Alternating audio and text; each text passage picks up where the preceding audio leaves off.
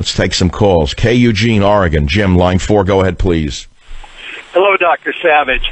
Wow, I was almost afraid I'd be on next after her, and I was. but I take quite the opposite view. But the reason I called actually was because you asked a question, and the person of which you asked that question earlier was name was Jonathan Pollard, I believe. Yes, and you win a free copy of Trump's War the day it comes out.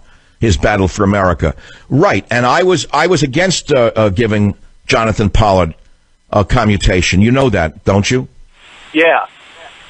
But yeah. So what I'm saying is, I'm saying is, why is it that a Puerto Rican head of a city council in New York cheers the release of a Puerto Rican terrorist from prison who killed people simply because of her ethnicity? It looks like to me. And then I'm saying we got to get past this tribalism. And I gave an example of someone of my ethnic background, Pollard, who I totally opposed the release of, as an example. I don't say, oh, because he's Jewish, I want to see him released. I think he was a spy who should have remained in jail for life, by the way. And I've said it before, and I'll say it again.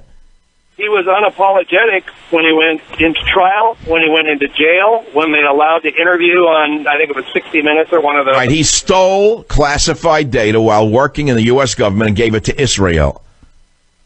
And That means that he, commi- he committed a grave crime, and he shouldn't have been released. Where is he today, by the way?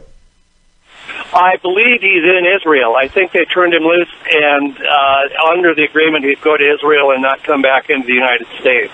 And what could he be doing there? Is he living on welfare? What could he do for them? Uh, maybe he's uh, running, Maybe he's running like running a matzah bakery somewhere in Tel Aviv. or he could be running a computer system to tap into ours. I don't know. There you go. He could be spying. He could run uh, Pollard's matzah shop somewhere. Look, the world's a dangerous place. There are spies everywhere. And when they get caught, frankly, I think depending upon the level of spying, the punishment should be swift and long. It's that simple. Thank you for the call.